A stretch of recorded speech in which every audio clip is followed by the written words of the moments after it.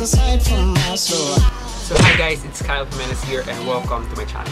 Today's video is about how I edit my Instagram photos. So last time, nag-ask ako sa inyo guys kung anong field theme yung dapat gawin ko ng tutorial. And 70% voted for dun sa current theme ko and yung 30% naman ay nag-vote dun sa white theme. But, but, but in this video, both of them gagawa ko sa tutorial. So let's get started.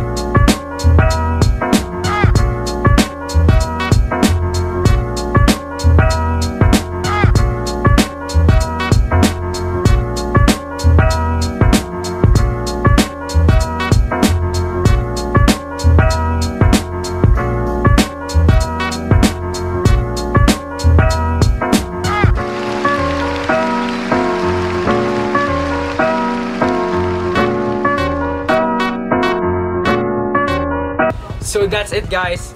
Thank you for watching. I hope you learned something from me. And if you like this video, please give it a thumbs up. And I'll see you guys on my next video. Bye!